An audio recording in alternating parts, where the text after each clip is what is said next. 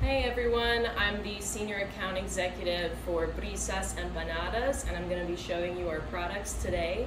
So, as you may already know, we do frozen Hispanic finger foods, empanadas, and yuca bites, along with a few desserts as well. The value prop for these products is that everything is zero prep, straight from the freezer to the fryer or the oven, and you're done. These products are great for catering. They hold up really well in a chafing dish, up to four hours in a hot box chafing dish or under a heat lamp. These yuca bites right here are naturally gluten-free and filled with a nice mozzarella cheese that strings out.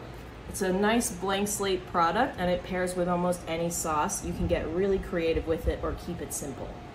For the Argentinian style empanadas, they're three ounces, filled really full with either beef, chicken, or spinach and cheese.